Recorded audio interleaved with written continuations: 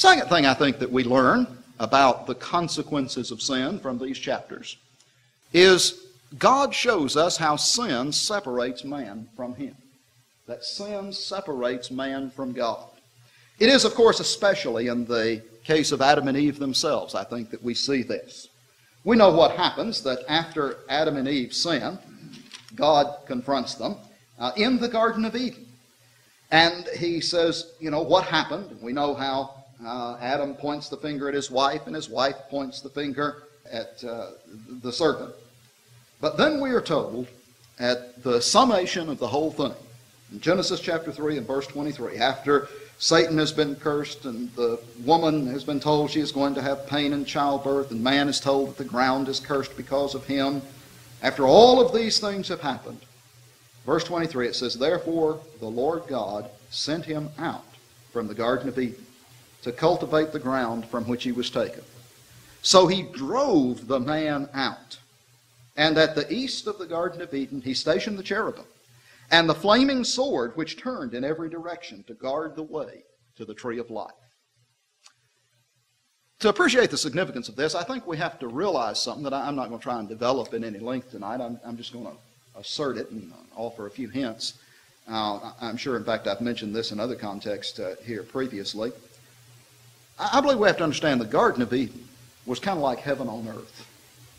It was, a, if you will, a miniature version of heaven. When you say, what's the basis of saying that? Well, first of all, you think there was no sin there when God made it. Uh, there was no sin there, and God and man were in perfect fellowship with one another there in the Garden of Eden.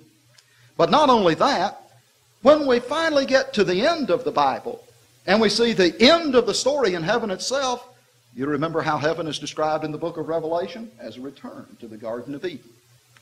And I think there are a lot of other things that connect with that throughout uh, the Bible.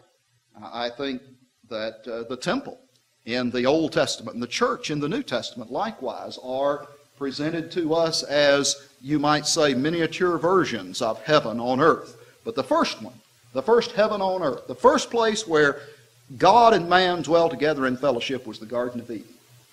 And so when God sends man out of the Garden of Eden, it's not just a matter of, well, man had a nice place to live, and God said, you know, what can I do to punish him? I can take away his nice home. God was actually removing man from the tree of life, from the tree of life and the life that God provides when man lives in fellowship with him. And until the process, the story of redemption is finished, until heaven itself man doesn't get to return to the tree of life. And so I suggest that the second thing that we learn is that sin separates man from his God. And from here on, the whole story of the Bible is how sin can be overcome. God's plan to bring redemption from sin so that man can be reunited with God and find the tree of life once again in heaven itself. A third thing I would suggest that we learn about the consequences of sin from these chapters a third thing is that sin separates, not only separates man from God, it also separates man from his fellow man. The Bible really doesn't say anything about first thing I'm going to mention here.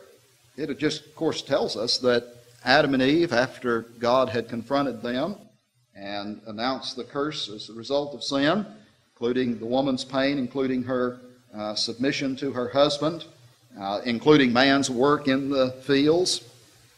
That's all it tells us, really. They were driven out. But you know, I, I have to wonder how all of this transformed the relationship between Adam and Eve. They had a lot of years left to live together. She had a lot of pain to go through in childbirth. He had a lot of weeds and thistles to hoe over those next years. And I wonder how many times she thought about the consequences of their sin. I wonder how many times he was out there hoeing and found himself tempted to blame her once again. Wonder about all of that. I wonder if, if they maybe looked back to the relationship that they had had in the Garden of Eden prior to sin coming along and thought about how much happier they had been at that time and realized perhaps even in their own lives the way in which sin had come between them. But if we might just wonder about Adam and Eve, there's no doubt about the next generation, about sin separating man from his fellow man. Adam and Eve would, in fact, live to see perhaps the most painful thing that parents could see. And that is to see their brothers at enmity, their children at enmity with one another, so that one brother kills another. In Genesis chapter 4, we read the dreadful account of Cain and Abel. You know, I think all of us probably over the last few days have really been struck. it's just almost impossible not to be touched uh, by the events up there in South Carolina where apparently, I realize there hasn't been trial and all of that yet, but uh, apparently woman has confessed to uh, murdering her own two children. I mean, we just, we, we say that that's almost unfathomable. And certainly it is. I would say that that's another good picture for us of ultimately the consequences of sin. I want to suggest that that I think probably that same type of horror, that same type of revulsion is what we ought to feel. And I think probably what Adam and Eve, the mother and father, no doubt felt when they realized what had happened between their two children, their oldest sons, Cain and Abel. And that Cain had murdered Abel simply because he was jealous of apparently what uh, God's acceptance of Abel's sacrifice and his rejection of his. And not only that, when God confronts Cain and says, Why are you angry? in chapter 4 and verse 6. Uh, and in verse 9, when he says, Where is Abel your brother? And he said, I do not know, am I my brother's keeper? You see, sin not only led to the ultimate act of murder, sin led Cain to feel like his brother wasn't his responsibility. That enmity, that hatred, that carelessness, even, of man for his fellow man, even brother for his brother. And ultimately, you know, we say, well, these are really brothers. You know, the fact of the matter is, we're all brothers in Adam, aren't we? And uh, yet, brothers in Adam still kill each other. Adam's children are still murdering each other. The consequences of sin, it separates man from his fellow man.